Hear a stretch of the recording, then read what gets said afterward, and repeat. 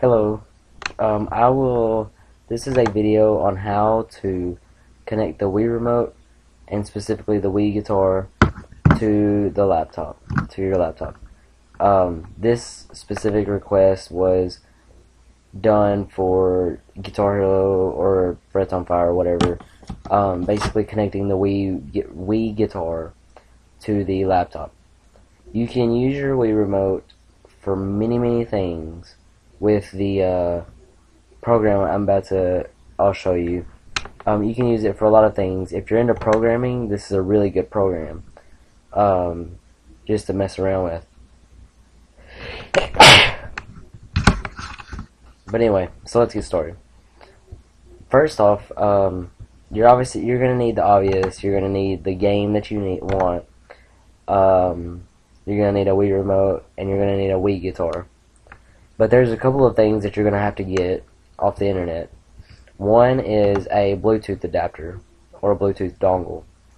These are pretty expensive ones. I got mine for one penny, so um, you can find one just wherever you feel like you feel comfortable buying from. Uh, you, but you need to have one of these. And if your guitar, I mean, if your uh, laptop doesn't already have Bluetooth adapters, like mine came, I mean, uh, Bluetooth drivers, like my laptop came with Bluetooth drivers, but not an adapter. Um, first, you want to check to see if your laptop has an adapter in, built inside of it. Like if it's fairly new, it's probably going to have a Bluetooth adapter built inside of it. So check to see if you have one first. If you do not, uh, you can just Google and uh, or Amazon, whatever you do, to find it. Next, you're going to need to download uh, GlovePIE. You just go to this link, which I'll provide in the description, and you just click download, and nothing fancy downloading it. Now, first is the connecting part. Whenever you get the, if you have already have a Bluetooth adapter built in, uh, then you're just gonna skip until uh, here in a few seconds. Um, if you have the Bluetooth adapter, just plug it into the computer. And right there at the bottom of the screen, it has the Bluetooth is now showing up. It's it's now working. Um, and it's mine's flashing too, to let me know that it's working. Now you're gonna need to take the back off the Wii remote, kind of like you're gonna sync it to the uh, uh, to the Wii. You're gonna take the back off the Wii remote. You're gonna go to devices and printers.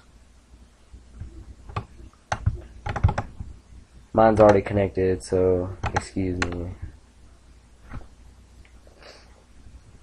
It's not gonna hurt the device by connecting it and disconnecting it either, if that's what you're worried about. Um, just a tip uh, um, while I'm remembering. Whenever you um, stop using the Wii remote to the uh, with the laptop, you don't have to resync your Wii remote to the Wii. It automatically does it for you, or at least mine do. But if you have one that j- hap- I mean, you should check that out because mine uh, doesn't need resyncing to the Wii. I can just take it off the PC, unplug the adapter, and turn it on, and it'll actually turn on my Wii. Okay, so we're here on the control panel, the devices and printers. You should, under devices, see your uh, Bluetooth adapter. If not, then it's not it's not in the computer properly. You're going to click Add a Device, and you're going to push the red button that's on the back of the Wii remote. And then that's going to come up. Nintendo R RVL CNT01. You want to click that pair without using a code. Now you have to wait until this bottom thing says Bluetooth HID device. You have to wait until it says that before closing this screen. Or it just won't connect. Now you also need to hold the red button the entire time until it says Bluetooth HID device. You, you need to hold the, the red button down.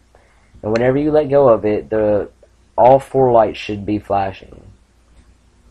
that means that it's connected to the laptop. It see it's there under devices now. It's connected to the laptop. If it goes off, then you have to reconnect it using that method. Now, if you if you download uh, GlovePIE, which you're going to actually need in order to play any game with the Wii Remote,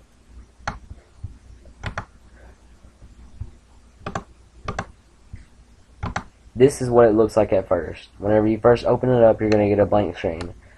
Okay? Um, if you're like kind of lazy-ish or you just don't feel like learning about the programming inside uh, GlovePIE, I'm gonna give you the uh, I'm gonna copy and paste my code for using my guitar. Um, now, if you do copy and paste this code, um, actually, you know what?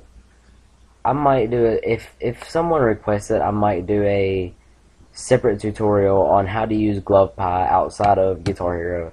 But for now, just copy and paste all of this, which I'm not gonna copy this because it's still work like it's not working. It doesn't do anything.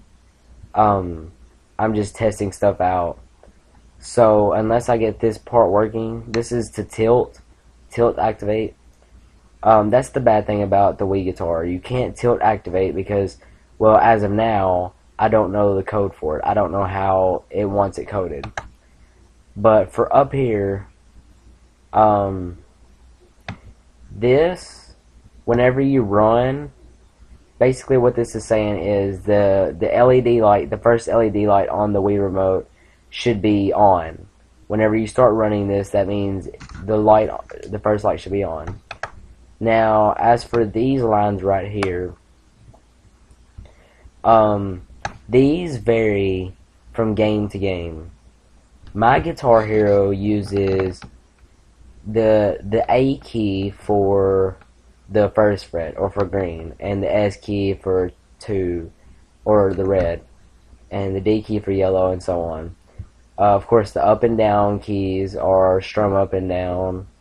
I have uh, the backspace for plus or uh, for the start menu. I have space for star power. So things like this. Now, whenever you copy and paste this, you must save it in order to run it. Which mine's already been saved. And then once you've done with that, you can click run.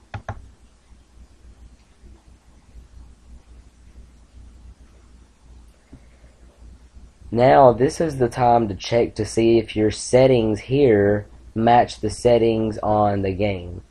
So, for instance, you can go into Guitar Hero and go into settings and go into input configuration, I believe. Um, it'll have like green, red, yellow, blue, orange, star power, or yeah, star power, um, strum up and down, which the strum up and down should be the same for everyone. And I think um, the space key and the shift key for whammy bar should be default for everyone. I think I did these.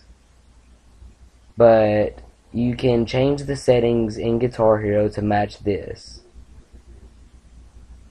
Um, that's really all that's it. I mean, if you once you connect the the Wii remote, uh, you'll need to plug it into the guitar before running this though. Like that was my mistake a lot. I would, wouldn't plug it into the guitar until after I had done all this. So you'll want to plug it into the guitar, uh, uh, connect it, and then run GlovePIE. Um, run this right here. And I think that's it. Uh, just open up the game and it should work if you have all the settings uh, set, set the same as this. Um, remember, if you want to learn more about GlovePIE, I, I know a lot about it, so um, I can definitely make another tutorial on how to run GlovePIE itself and not just the Wii guitar. So I hope this helps. If you have any questions, comment or message me. I'll be glad to help. See you later.